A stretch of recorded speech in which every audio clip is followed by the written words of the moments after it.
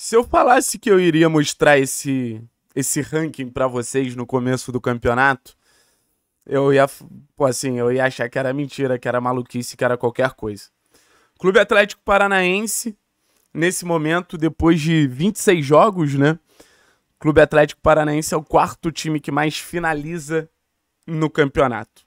O Atlético finaliza mais que São Paulo, o Atlético finaliza mais que Fluminense, finaliza mais que Flamengo, finaliza mais que Grêmio, finaliza mais que Botafogo, finaliza mais que Vasco, enfim, finaliza mais que Inter. E o que que significa esse número de finalizações que a gente olha e a gente fala? Pô, o Atlético tá chutando pra cacete. Cara, significa que o Atlético ele chega até o gol adversário. Durante muito tempo, o nosso problema, e a torcida ela sabe disso, foi ficar trancado lá atrás. Foi ficar trancado num contexto onde basicamente o Atlético só se defendia. E hoje não. Hoje o Atlético chega, finaliza bastante, leva perigo ao gol adversário. Acho que não tem um jogo, talvez o Atletiba, mas acho que nem o Atletiba que a gente olhe e a gente fale, cara, a gente poderia ter feito mais gols do que a gente acabou fazendo. E essa frustração é foda, porque tá diretamente ligado aos resultados frustrantes, tá diretamente ligado à instabilidade do Atlético no Campeonato Brasileiro, tá diretamente ligado ao fato do Atlético ele não conseguir se afirmar nessa zona de classificação para a Libertadores.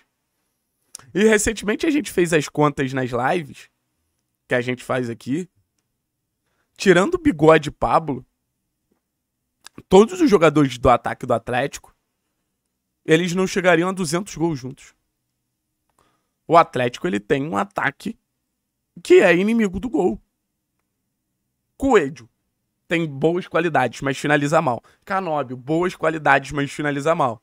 Zapelli é muito mais um cara de construção do que de chegada. O Romulo não vai te entregar mais de 6, 7 gols no Campeonato Brasileiro. O Bigode no Atletiba, cara, ficou muito claro como, como tá difícil poder contar com o William Bigode. Então, assim, o sistema ofensivo do Atlético hoje, ele depende muito do meio campo. O meio campo do Atlético salvou muito o Atlético durante muitos momentos da temporada. Salvou o Atlético com gols de Eric.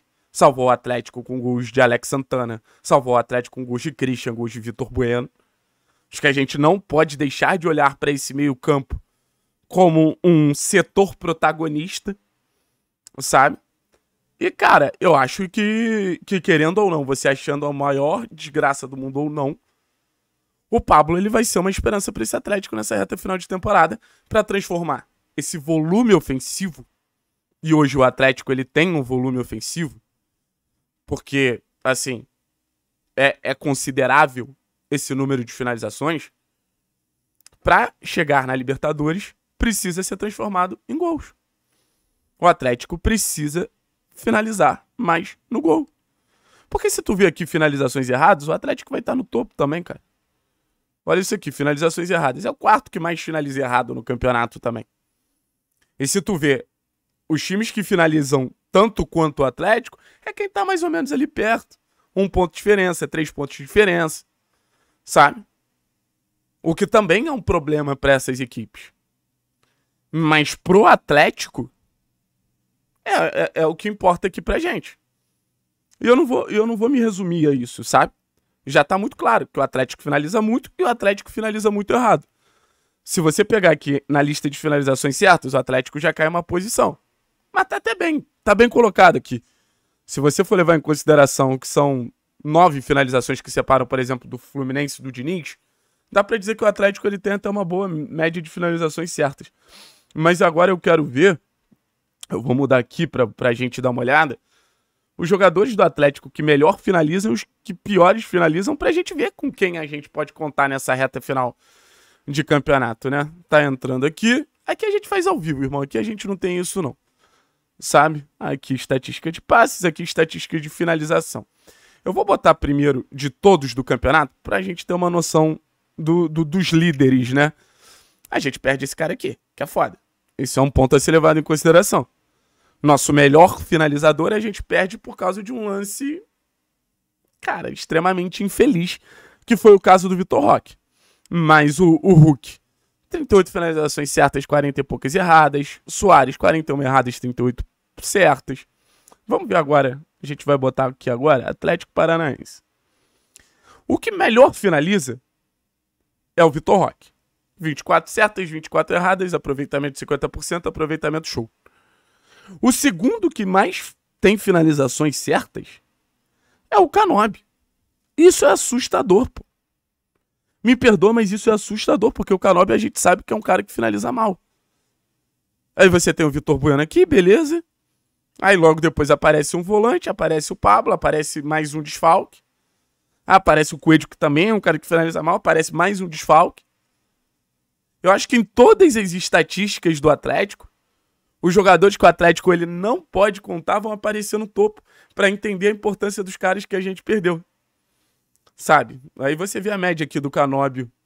Cara, de finalizações totais, assim, são 42 finalizações no campeonato, 19 certas. Cara, 42 finalizações em 20 jogos é pouco, mano. É pouco. Como é que a gente vai contar com, com, com esses caras, tá ligado? O Atlético ele tem uma característica que ele divide muito as finalizações em muitos jogadores, sabe? Em muitos jogadores. Assim. Só que eu acho que essa lista, cara, sobrou basicamente Bueno, Eric, Pablo, torcer pro Christian voltar o mais rápido possível. Mas a ausência do Vitor Roque nos tira, muito tira muita potência. Tira muita potência. Aí se você entrar aqui, voltar pro ranking de times, calma aí, equipes, para ver mais uma estatística que eu acho importante. De chances criadas, não chances aleatórias. Eu não sei nada disso, tá? Eu tô vendo aqui junto com vocês. Mas assistências para finalização vai estar tá aqui em assistências. Assistências para finalização. O Atlético é o quarto time que mais cria jogadas, cara. Que as finalizações não acontecem do acaso, sabe? Então a gente sai desse vídeo sabendo que o Atlético constrói bem, a gente sai desse vídeo sabendo que o Atlético finaliza muito. A gente sai desse vídeo sabendo que o Atlético é um dos times que mais finaliza no gol. E mesmo assim tem pouco poder de fogo. Cara, é, é, é, é até difícil ver perspectiva de melhora linkando esses números. Porque a gente vai procurar, puta, então o problema é que o Atlético cria pouco. Não. Ah, o problema é que o Atlético ele finaliza mal. Não, é um dos times que mais acerta o gol do campeonato. É o problema, então, qual? Cara, que esses caras não têm feeling do gol. Eu acho que é mais uma questão de montagem de elenco. Jogador que tira coelho da cartola, jogador que sabe fazer gol. Como era o Terãs, como, assim, é o Christian, sabe? Atlético Libertar, jogo pegado em casa. Christian conduz a bola, conduz a bola, bate e é gol, pô. Eu não consigo esperar mais cinco gols do Canobi até o final do campeonato. Eu não consigo esperar mais três gols do Coelho até o final do campeonato. Eu acho que são expectativas irreais. Então, da onde vão vir esses gols do Atlético? Eric, Santana, Pablo Bueno. E eu, assim, torcer pro Christian voltar o mais rápido possível. Ou o Atlético começa a fazer gol e transformar até boas atuações em resultado, ou vai ser muito difícil, porque esses números, eles são, ao mesmo tempo, razoáveis, e, e mostram que algum trabalho está sendo feito, esses números são perigosos. Porque o Atlético, com esse desempenho, ele já deveria estar finalizando muito melhor e muito mais estabilizado no campeonato. Uma coisa está direcionadamente ligada à outra. A falta de poder de fogo do Atlético é muito preocupante. Muito preocupante mesmo.